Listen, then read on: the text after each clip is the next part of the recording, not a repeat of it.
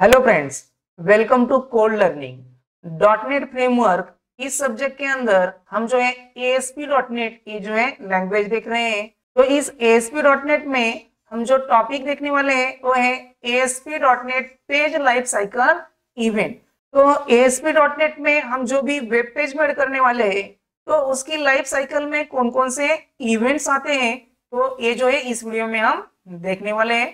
तो वीडियो जो है लास्ट तक ज़रूर देखें। So let's begin the video तो ASP.NET के पेज की लाइफ साइकिल में सबसे पहला इवेंट आता है, वो है pre init event the pre init is the first event in the page life cycle it check each post back property and determine whether the page is post back तो ये जो है सबसे पहला इवेंट है pre init event in the life cycle of the page तो इस event में क्या किया जाता है?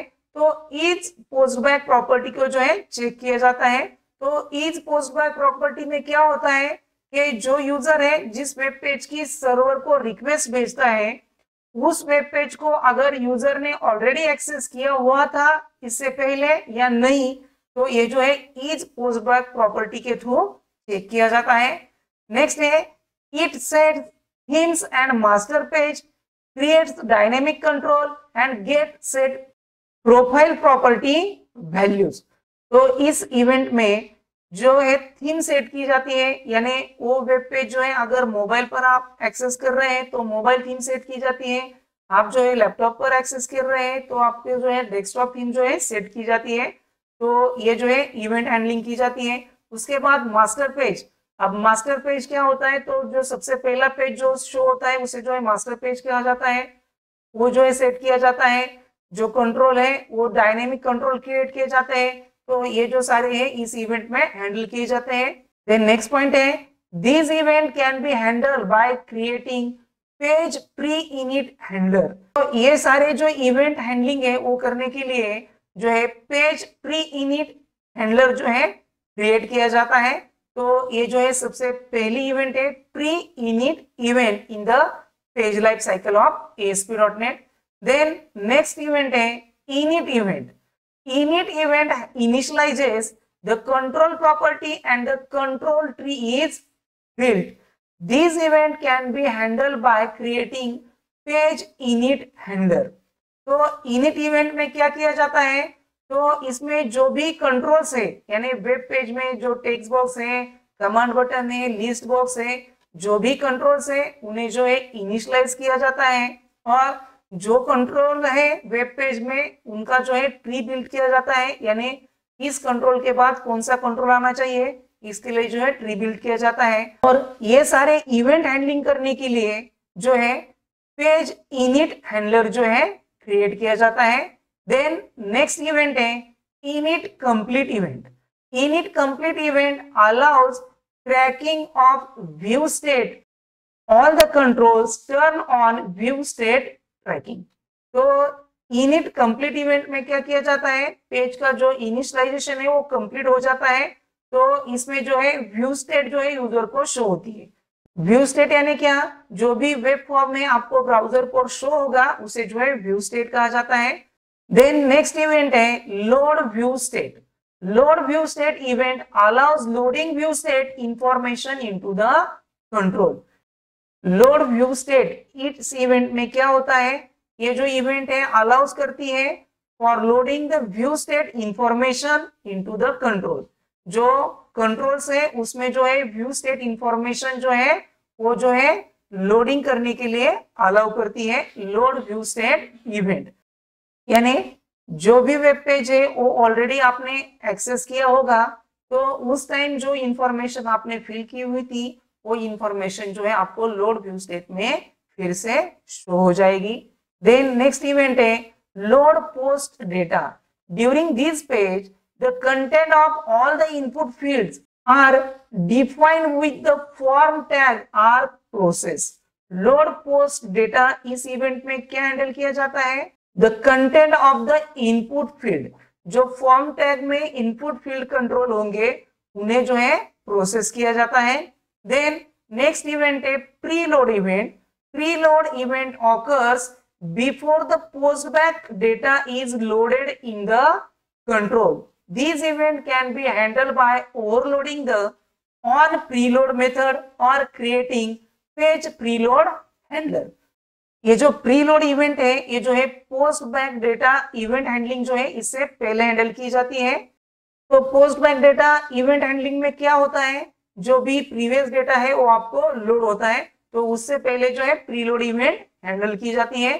नेक्स्ट इवेंट है load event the load event is raise for the page first and then recursively for all child controls तो सबसे पहले जो लोड इवेंट है फ़र्स्ट पेज के लिए जो है कॉल की जाती है और उसके बाद उसमें जो भी चाइल्ड कंट्रोल या फिर चाइल्ड पेजेस हो गए या फिर सब पेजेस हो गए, उनके लिए जो है रिकर्सिवली कॉल होती है।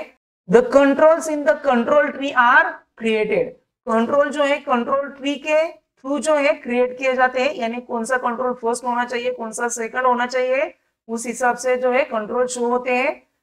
These event can be handled by overloading the onload method or creating the page load handler.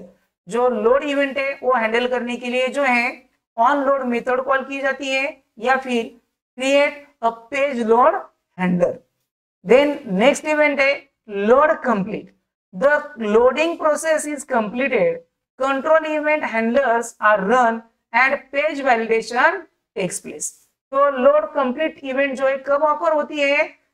Page की लोडिंग जो है कंप्लीट होने के बाद ऑफ़र होती है। पेज की लोडिंग कब कंप्लीट होती है? तो इसमें जो कंट्रोल इवेंट हैंडलर है, वो रन होने के बाद एंड पेज के जो वैलिडेशन कंट्रोल्स है तो एसपी डॉट नेट में बहुत सारे जो वैलिडेशन कंट्रोल्स है, जैसे कि रिक्वायर्ड फ़ील्ड वैलिडेशन कंट्रोल है रेंज वैलिडेशन कंट्रोल है, ये जो वैलिडेशन कंट्रोल्स होते हैं, ये सारे लोड होने के बाद जो है लोड कंप्लीट इवेंट जो है ऑकर होता है। This event can be handle by overloading the on load complete method और creating page load complete handler ये जो इवेंट है कंप्लीट होने के लिए क्या किया जाता है?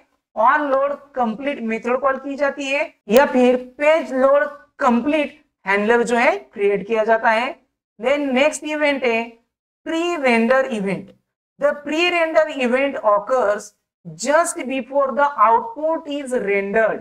By handling these events, pages and controls can perform any updates before the output is rendered.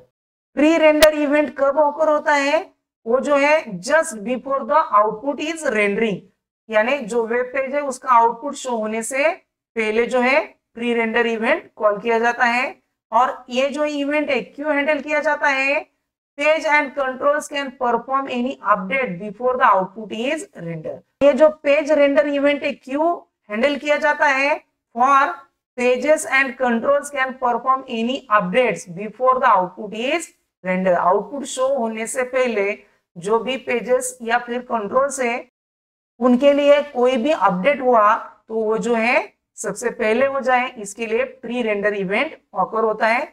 Next है pre render complete as the pre render event is recursively fired for all child controls, these events ensure the completion of the pre-rendering phase.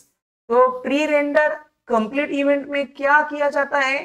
तो जो first page है, उसके लिए तो occur होता है, या फिर उसके जो भी चाइल्ड पेजेस या फिर चाइल्ड कंट्रोल है, वो सभी के लिए जो है रिकर्सिवली कॉल किया जाता है। और this event ensure the completion of pre rendering phase उसमें जो है कंप्लीशन ऑकर हुआ है या नहीं हुआ है, उसके लिए जो है प्री रेंडरिंग कंप्लीट इवेंट जो है कॉल किया जाता है। देन नेक्स्ट है save state complete state control on the page is save personalization control state and view state information is save the L markup is generated तो save state complete event में क्या किया जाता है? जो भी वेब पेज पर कंट्रोल है, उन पर जो भी इंफॉर्मेशन है, वो जो है सेव की जाती है। और इसके लिए जो है सेव स्टेट कंप्लीट इवेंट जो है कॉल किया जाता है। देन नेक्स्ट और लास्ट इवेंट है पेज लाइफ साइकिल का, वो जो है unload event the unload phase is the last phase of the page life cycle it tries the unload event for all control recursively and lastly for page itself. यानी जो भी web page है, उसमें जितने सारे कंट्रोल है, उनके लिए जो है रिकर्सिवली अनलोड इवेंट जो है कॉल किया जाता है। और लास्ट में जाकर जो है पेज के लिए कॉल किया जाता है। Finally cleanup is done and all resources and references such as database connection are freed और फाइनली क्या किया जाता है? जो भी रिसोर्सेज जो है, उस वेब पेज में यूज़ किए थे, वो सारे जो है फ्री किए जाते हैं। फॉर एग्ज़ाम्पल जो भी डेटाबेस कनेक्टिविटी की है, वो जो है फ्री की जाती है। तो ये सारे जो है ASP.NET पेज लाइफ साइकिल के इवेंट्स हैं। तो इस वीडियो में बस इतना ही। अगर आपको वीडियो पसंद आ गया होगा तो वीडियो को लाइक और शेयर ज़रूर कीजिए। आप जो है चैनल पर पहली बार आएँगे तो प्लीज़ चैनल को सब्सक्राइब कर लीजिए। Thank you